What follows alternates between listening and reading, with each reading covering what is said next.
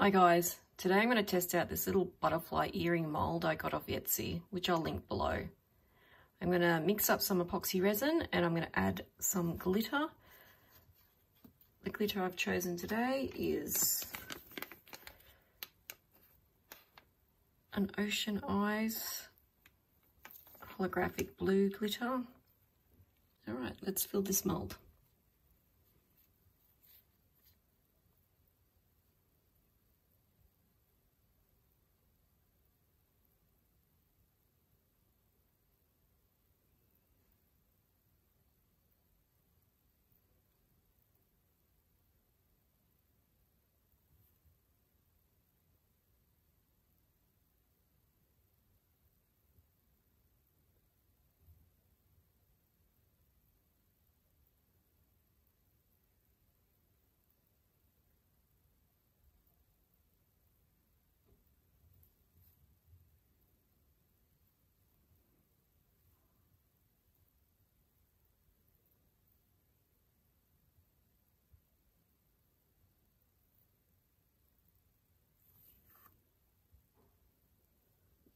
Okay, I'm just going to take my little toothpick and I'm just going to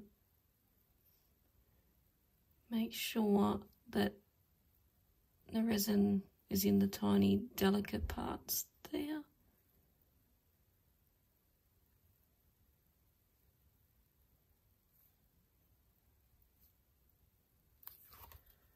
All right, I'm going to let that set for a day and I'll be back.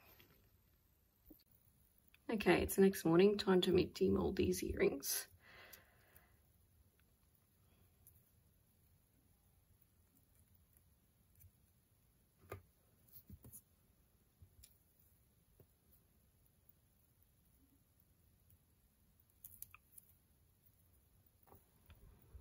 Well, I think these turned out great.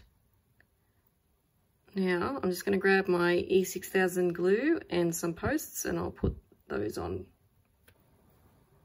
well, there you go. Ready to wear.